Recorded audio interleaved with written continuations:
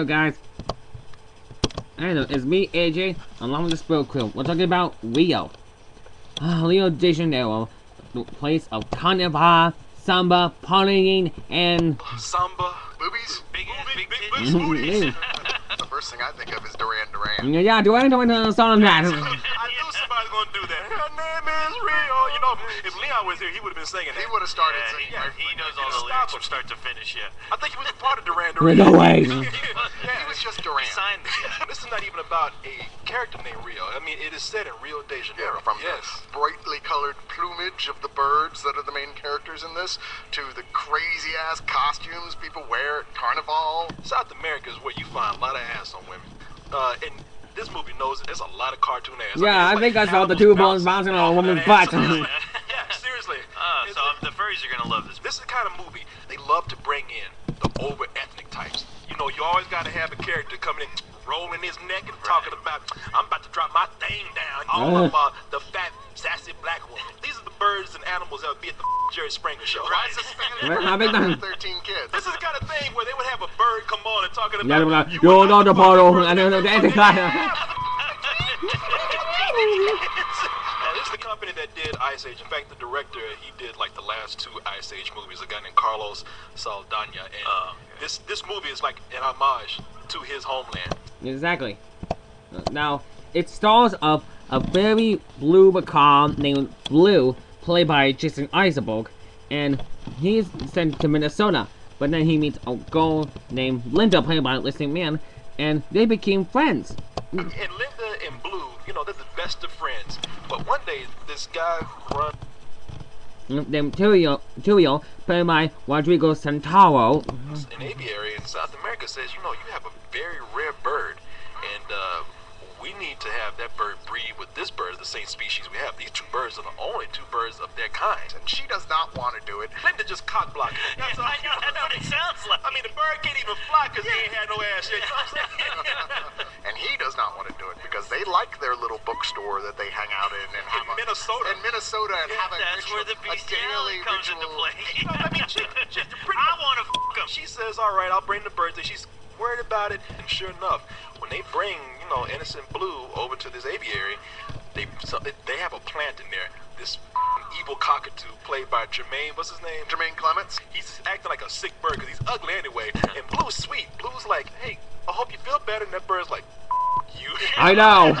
And that bird gives him a look like, um, I'm gonna- he's the first one I'm gonna get. And he's a plant in there to like pretty much help these uh, poachers uh, break in so that they can steal these two birds. And so Blue gets taken. He's caught out in the wild, can't fly.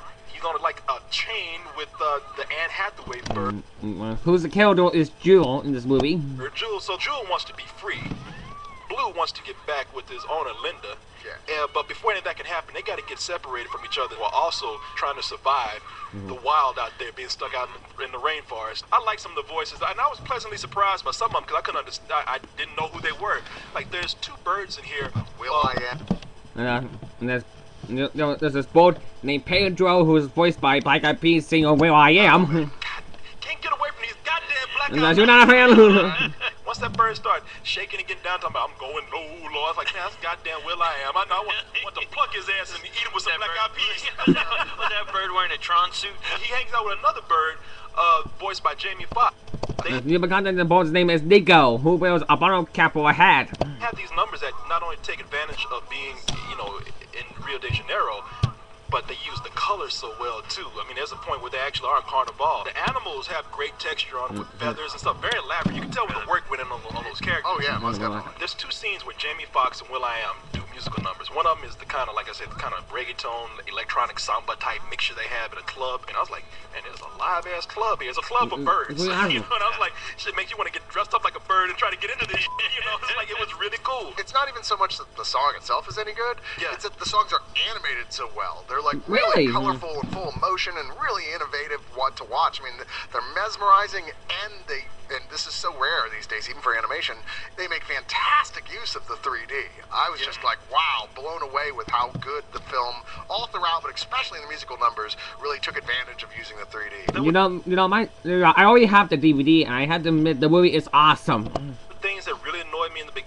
Some characters I thought I wouldn't like. George Lopez. Who plays Raphael Atucan? Yeah, I don't like his character in here. He's the lowest point of this film. Really, I liked his character. I, I just thought it wasn't very well drawn, and he's not very good in it. Remember the song that was playing when I first laid eyes on you?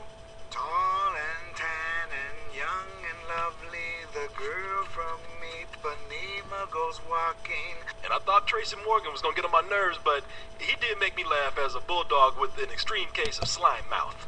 I think I know what to do. I'm sorry about that. I was trying to make my eyebrows and all like, well, different kind. So story-wise, this is the lower end of these talking animal animated movies.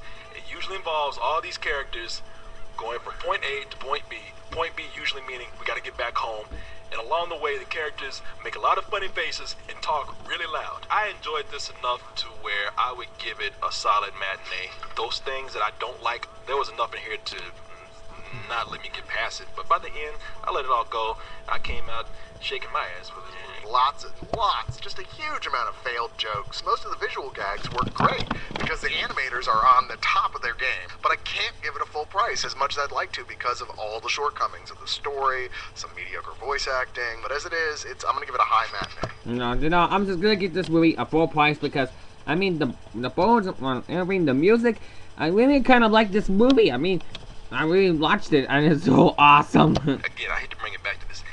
Every, it, everything has ass. Uh, what? But that's true. It's Yeah, everywhere you go there, the parents are just amazing asses. Yeah, that's really hard to party with that alley. Birds have baboon asses.